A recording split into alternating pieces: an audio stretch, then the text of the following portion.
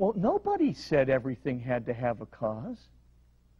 The only thing metaphysicians throughout the centuries ever said was any conditioned reality would have to have its conditions fulfilled.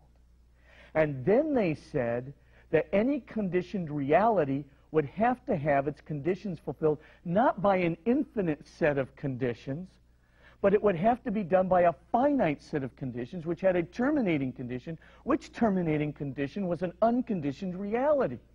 That's what they said. So nobody ever started with a proposition, every, everything has to have a cause. It'd be a, an idiotic presupposition. What they started with was any conditioned reality must have its conditions fulfilled. The con uh, fulfillment of conditions has to have an unconditioned reality at the set of, of a series of conditions. That unconditioned reality itself has to be absolutely simple because compatible with anything which could ever come into being. That absolutely simple reality would have to be unrestricted in the via negativa sense of no intrinsic or extrinsic boundaries, and that in turn would have to be absolutely one because, of course, anything that would make a second one would immediately give rise to an instantiation which would be less than absolutely simple, which, of course, would make the second uh, absolute simplicity a fake or an intrinsic contradiction. Now, that's what metaphysicians said. So what about God? Does God have to have... Of course not. Why? Because God is an unconditioned reality of which there can only be one. We started with conditioned realities need causes, as it were. Conditioned realities need their conditions fulfilled. But an unconditioned reality, by definition, does not need its conditions fulfilled. Now, if you take this metaphysical proof seriously, this is kind of interesting, isn't it? Because, of course, what did Thomas Aquinas just do? He proves, right, and I'm, I'm kind of uh, just doing a, a little bit of an update, you know, with some contemporary language and some contemporary examples like electrons and protons and things, but technically the proof is quite sound. What is being proven here is the following that you need at least an, one unconditioned reality, that that unconditioned reality must be absolutely simple, that an absolutely simple reality must be unrestricted or infinite in the sense of the via negativa, no intrinsic or extrinsic boundaries, and therefore it must be one. That is to say, one and only one, because any second would be a fake, which means that it would have to be the continuous creator of everything else that is. So says I, Thomas, other metaphysicians, Therefore, God must exist. If the definition of God here is an absolutely unique, unrestricted, that is to say, infinite, an absolutely unique, infinite, continuous creator of all else that is, which is an unconditioned reality and absolute simplicity, then God as defined must exist. And the interesting thing is there's really only two ways out of this little pup. The first way out is you can deny that, it, that an unconditioned reality has to be absolutely simple, but then you're going to have to explain how it can be compatible with everything else that is. Or you can say that hypothesis F or hypothesis not F are true that they can really exist in all reality. In other words, you can try and say that there doesn't have to be one, at least one unconditioned reality in all reality. But to be honest with you, if you try to have hypothesis F be true, since you're going to end up with the last condition whose conditions are not fulfilled, which is nothing, that means that you and everything else in the world can't exist. And if you're going to say that hypothesis not F is true, then you're going to say that something is dependent upon an infinite set of conditions to exist.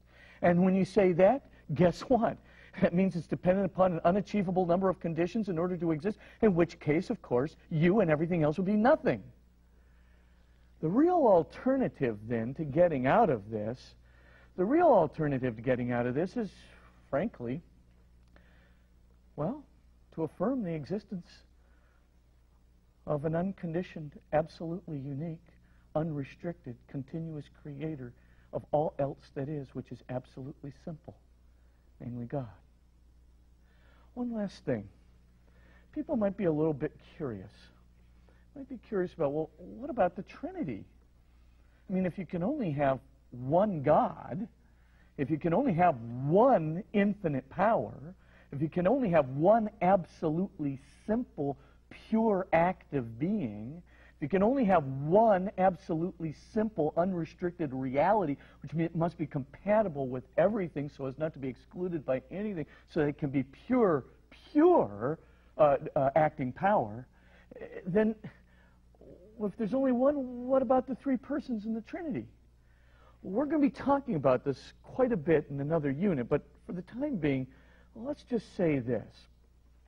That remember when I was talking about self-consciousness, and I said you could be aware of your awareness, and you could even be aware of your self-awareness, that you could actually be aware right now that you were self-aware.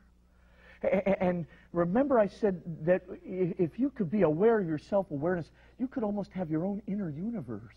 You could, as it were, you could like have your own inner world.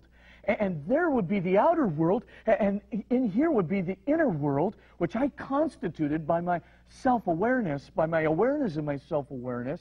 And in a way, then, I have a, a privacy. I, I, have, as it were, an, an, an independence. I have a kind of a, an autonomy in my own inner world juxtaposed to the outer world. And if that is the case, then of course, I actually can have a self consciousness which makes use of my power. Now, what I want you to just see for the time being is what we have proved is one infinite power.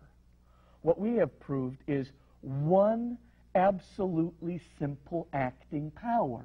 What we have proven is one unconditioned, absolutely simple acting power. And now conceive of this.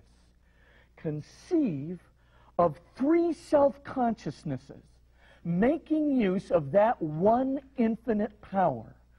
Three persons, which are like three self consciousnesses, three self awarenesses, making an unconditioned and unconditional use of that one infinite power source, that one unrestricted infinite power, so that they are using unconditioned that one infinite power. And what are they doing, as we'll see later?